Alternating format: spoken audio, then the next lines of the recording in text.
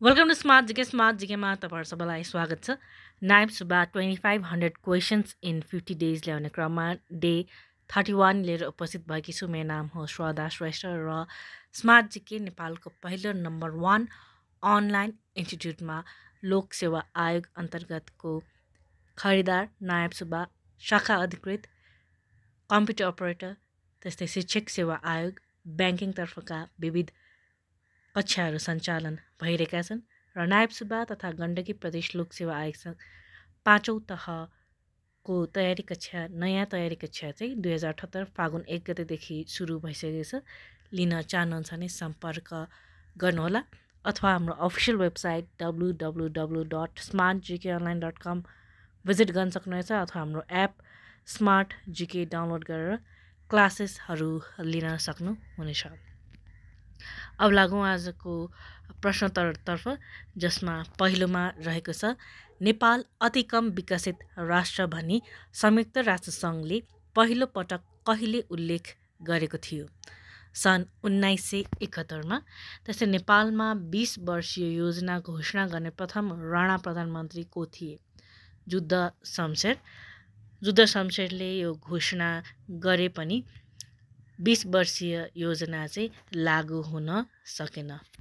त्यसै नेपालमा पहिलोपल्ट बजेटको व्यवस्था कहिलेदेखि भएको हो? विक्रम दुई हजार आठ।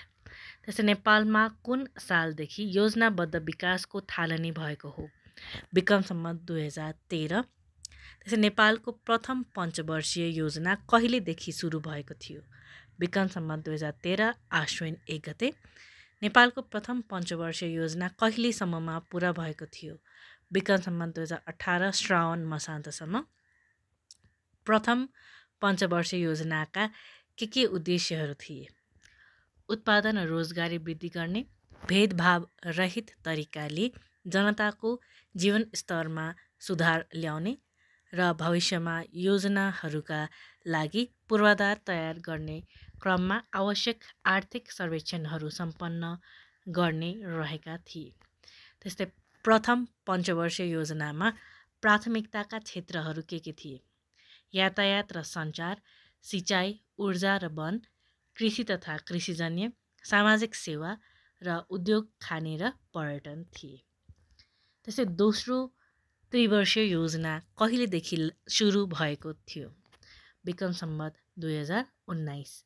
दोस्रो त्रिवर्षीय योजना कहिलेसम्ममा पुरा भयो? विक्रमसम्म दुई हजार बाइस। दोस्रो त्रिवर्षीय योजनाको उद्देश्यहरू के के थिए? बढ्दो जनसङ्ख्याको आवश्यकता पुरा गर्न कृषि तथा औद्योगिक क्षेत्रको उत्पादन वृद्धि गर्ने मूल्य स्थिरता कायम गरी विकासको वातावरण सिर्जना गर्ने श्रममूलक प्रविधिको प्रयोग गरी रोजगारीका अवसरहरू बढाउने र न्यायोचित सामाजिक व्यवस्था कायम गर्ने रहेका थिए। त्यस्तै दोस्रो त्रिवर्षीय योजनामा प्राथमिकताका क्षेत्रहरू के के थिए? यातायात र सञ्चार सामाजिक सेवा उद्योग खाने तथा पर्यटन कृषि सिँचाइ वन तथा खानेपानी ऊर्जा र विविध। त्यस्तै तेस्रो पञ्चवर्षीय योजना कहिले सुरु भएको थियो? विक्रमसम्म दुई हजार बाइस। तेस्रो पञ्चवर्षीय योजना कहिले समाप्त भएको थियो? विक्रम दुई हजार सत्ताइस। तेस्रो पञ्चवर्षीय योजनाले कति वर्षभित्र राष्ट्रिय उत्पादनलाई दोब्बर गर्ने लक्ष्य लिएको थियो? पन्ध्र वर्ष। तेस्रो पञ्चवर्षीय योजनाअनुसार राष्ट्रिय आयमा कति प्रतिशत वृद्धि गर्ने लक्ष्य रहेको थियो? उन्नाइस प्रतिशत। तेस्रो पञ्चवर्षीय योजना अनुसार प्रति व्यक्ति औसत आयमा कति प्रतिशत वृद्धि गर्ने लक्ष्य रहेको थियो? नौ प्रतिशत। तेस्रो पञ्चवर्षीय योजनाअनुसार खाद्यान्न उत्पादनमा कति प्रतिशत वृद्धि गर्ने लक्ष्य रहेको थियो? पन्ध्र प्रतिशत। तेस्रो पञ्चवर्षीय योजनामा योजनाअनुसार नगदे बालीमा कति प्रतिशत वृद्धि गर्ने लक्ष्य रहेको थियो? तिहत्तर प्रतिशत। तेस्रो पञ्चवर्षीय योजनाका उद्देश्यहरू के के थिए? कृषि क्षेत्रको खाद्यान्न उत्पादनमा वृद्धि ल्याउने कृषिमा व्यवस्थामूलक सुधार गर्ने आधारभूत क्षेत्रहरू विकास गर्दै लैजाने औद्योगिक विकासको पूर्वाधार सिर्जना गर्ने वैदेशिक व्यापारमा विविधता ल्याउने र सामाजिक आवश्यकता पुरा गर्दै जाने रहेका थिए उद्देश्यहरू। त्यस्तै तेस्रो पञ्चवर्षीय योजनामा प्राथमिकताका क्षेत्रहरू के के थियो?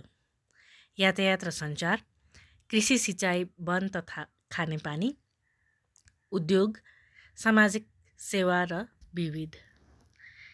चौथो पञ्चवर्षीय योजना कहिले सुरु भएको थियो? विक्रम सम्मत दुई हजार सत्ताइस। चौथो पञ्चवर्षीय योजना कहिले पुरा भयो? विक्रम सम्मत दुई हजार बत्तिस। चौथो पञ्चवर्षीय योजनाका उद्देश्यहरू के के थिए?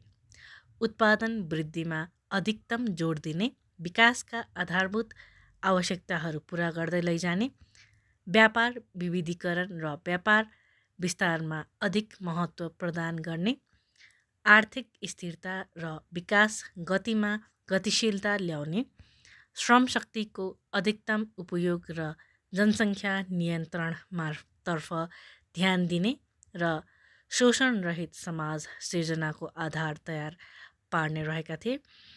उद्देश्यहरू त्यस्तै चौथो पञ्चवर्षीय योजनामा प्राथमिकताका क्षेत्रहरू के के थिए? यातायात र सञ्चार कृषि भूमि सुधार तथा वन उद्योग वाणिज्य खाने तथा विद्युत पञ्चायत शिक्षा स्वास्थ्य र अन्य सामाजिक सेवाहरू र तथ्याङ्क। पाँचौँ पञ्चवर्षीय योजना कहिले सुरु भएको थियो? विक्रम दुई हजार बत्तिस। पाँचौँ पञ्चवर्षीय योजना कहिले पुरा भयो? विक्रम दुई हजार सैँतिस। पाँचौँ पञ्चवर्षीय योजनाका उद्देश्यहरू के के थिए? जनसाधारणहरूका लागि आवश्यक पर्ने उत्पादन वृद्धिमा जोड दिने श्रम शक्तिको अधिकतम उपयोग गर्ने र प्रादेशिक सन्तुलन कायम गरी प्रादेशिक एकीकरणतर्फ जोड दिने। त्यस्तै पाँचौँ पञ्चवर्षीय योजनामा प्राथमिकताका क्षेत्रहरू के के थिए? कृषि भूमि सुधार सिँचाइ वन भू संरक्षण र पुनर्वास यातायात र सञ्चार उद्योग वाणिज्य खाने तथा विद्युत र सामाजिक सेवाहरू शिक्षा स्वास्थ्य आदि। त्यही छैटौँ पञ्चवर्षीय योजना कहिले सुरु भएको थियो? विक्रमसम्म दुई हजार सैँतिस। छैटौँ पञ्चवर्षीय योजना कहिले पुरा भयो? विक्रमसम्म दुई हजार बयालिस। छैटौँ पञ्चवर्षीय योजनाका उद्देश्यहरू के के थिए? उत्पादन वृद्धि दरमा तीव्रता ल्याउने उत्पादनशील रोजगारीका अवसरहरू सिर्जना गर्ने र जनताको न्यूनतम आधारभूत आवश्यकता पुरा गर्ने रहेका थिए। जस्तै छैटौँ पञ्चवर्षीय योजनामा प्राथमिकताका क्षेत्रहरू के के थिए? कृषि सिँचाइ तथा वन उद्योग खानी तथा विद्युत सामाजिक सेवाहरू र यातायात र सञ्चार। तसै छैटौँ पञ्चवर्षीय योजनामा के के नीतिहरू अप्नाइएका थिए? कृषि क्षेत्र विकासतर्फ विशेष जोड दिइने साना घरेलु र कुटीर उद्योगहरूको विकासलाई महत्त्व दिने निकासी व्यापार र पर्यटकको विकासमा जोड दिने प्राकृतिक स्रोत सम्पदाको संरक्षण र जलस्रोतको विकासतर्फ विशेष ध्यान दिइने तयारी आधारशील आधारशिलाको पूर्ण उपयोग गरिने र अर्थतन्त्रको शोचन क्षमता अर्थात् एब्जर्प्टिभ क्यापासिटी विस्तार र जनसङ्ख्या नियन्त्रण गर्ने नीतिहरू अनुसरण गरिने रहेका थिए। त्यो छैटौँ पञ्चवर्षीय योजनामा के के रणनीतिहरू अवलम्बन गरिएका थिए? आर्थिक निर्णय विकेन्द्रीकरण संस्थागत आधारहरूको विकास सुदृढ तथा सक्षम विकास प्रशासन तालिम प्राप्त जनशक्ति विकास र निर्माण सामग्रीको आपूर्तिमा वृद्धि। यस्तो प्रश्न छ सातौँ पञ्चवर्ष योजनामा योजना कहिले सुरु भएको थियो? विक्रमसम्म दुई हजार बयालिस सातौँ पञ्चवर्षीय योजना कहिले पुरा भयो? विक्रमसम्म दुई हजार सत्तालिस सातौँ पञ्चवर्षीय योजनाका उद्देश्यहरू के के थिए? उत्पादन दरमा वृद्धि ल्याउने उत्पादनशील रोजगारीका अवसरहरू सिर्जना गर्ने र जनताको न्यूनतम आधारभूत आवश्यकताहरू पुरा गर्दै लैजाने रहेका थिए। त्यसै सातौँ पञ्चवर्षीय योजनामा प्राथमिकताका क्षेत्रहरू के के थिए? कृषि सिँचाइ तथा वन उद्योग र विद्युत सामाजिक सेवाहरू र यातायात र सञ्चार। त्यस्तै आठौँ पञ्चवर्षीय योजना कहिले सुरु भएको थियो? विक्रमसम्म दुई हजार उनापचास। आठौँ पञ्चवर्षीय योजना कहिले पुरा भयो? विक्रमसम्म दुई हजार चौवन्न। आठौँ पञ्चवर्ष योजनाका उद्देश्यहरू के के थिए? दिगो आर्थिक वृद्धि हासिल गर्ने गरिबी घटाउने क्षेत्रीय असन्तुलन कम गर्ने रहेका थिए। आठौँ पञ्चवर्ष योजनाका प्राथमिकताका क्षेत्रहरू के के थिए? कृषि सघनता र विविधीकरण ऊर्जा विकास ग्रामीण पूर्वाधार विकास रोजगारी सिर्जना र जनशक्ति विकास जनसङ्ख्या वृद्धिमा नियन्त्रण औद्योगिक विकास र पर्यटन प्रवर्धन निर्यात विस्तार विविधीकरण समष्टिगत आर्थिक स्थायित्व विकास प्रशासनमा सुधार र अनुगमन र मूल्याङ्कन रहेका थिए। त्यसै नौ पञ्चवर्षीय योजना कहिले सुरु भएको थियो? विक्रम दुई हजार चौवन्न त्यसै नौ पञ्चवर्षीय योजना कहिले पुरा भयो? विक्रम दुई हजार उनासाठी नौ पञ्चवर्षीय योजनाका उद्देश्य के के थियो?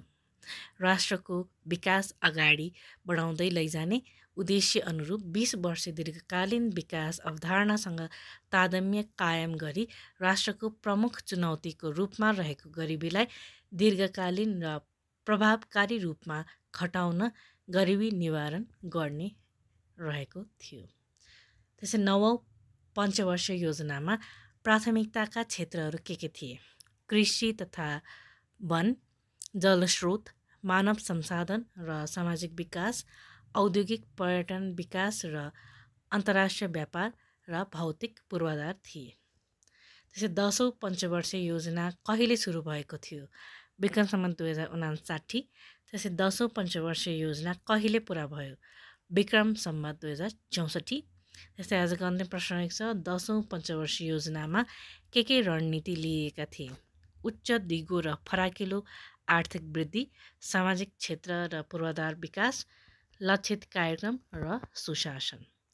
हस्तै प्रश्न साथै आजको भिडियो यहीँ टुङ्गाउन चाहन्छु। यदि तपाईँहरू क्लासेस लिन चाहनुहुन्छ भने सम्पर्क गर्नुहोला अथवा हाम्रो official website W W W dot smart GK online dot com visit गर्न सक्नुहुनेछ अथवा हाम्रो एप स्मार्ट जिके डाउनलोड गरेर क्लासेसहरू लिन सक्नुहुनेछ र यदि हाम्रो भिडियोहरू मन परिरहेको छ भने लाइक सब्सक्राइब कमेन्ट सजेस्ट र सेयर गर्दै गर्नुहोला। धन्यवाद।